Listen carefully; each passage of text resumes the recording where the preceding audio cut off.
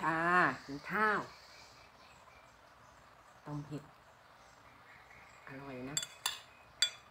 ใครอร่อยยังไม่รู้ คนทำอร่อยอืมสุดยอด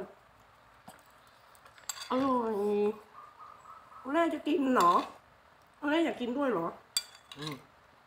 มีแต่เห็ดนะ กินบ่ล่ะฮะกินข้าวกันหรือยัง จิวกินไหมอืมแซ่บ